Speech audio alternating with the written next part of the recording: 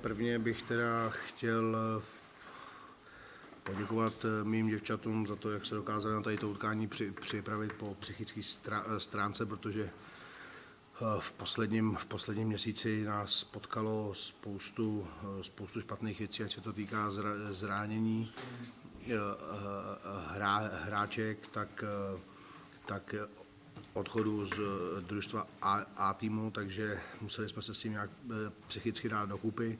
Možná to bylo vidět v těch posledních dvou ligových utkání v Hill.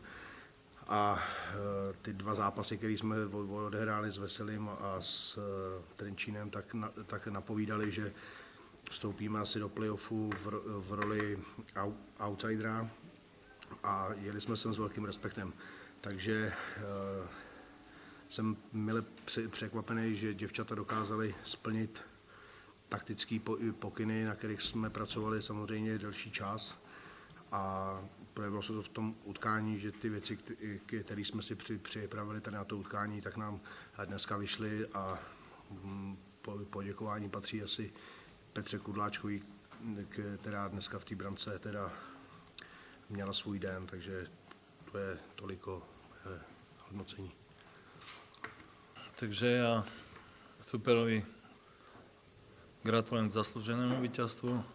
Za nás výkon sa veľmi hambím, lebo e, nasadenie, o ktorom sme si hovorili a, a všetko spojené s tým e, sme v tomto zápase vôbec neukázali.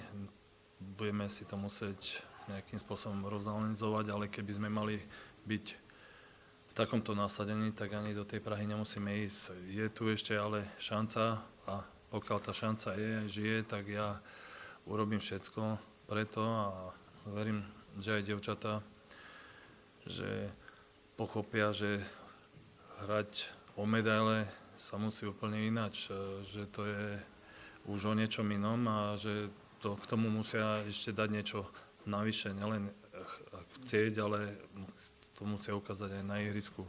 Najmä premenianie šanci, ktoré boli, ktorých tam bolo veľa zahodených a, a samozrejme e, veľké chyby v obrane, ktoré, ktoré, na ktoré sme upozorňovali a ktoré sme v, v žiadnom prípade nedodržali, ak sme chceli. Takže to, toto, toto bude na prvom mieste a hovorím, nechcem ešte žiadne závery robiť, verím, že Prahe bude úplne iný zápas.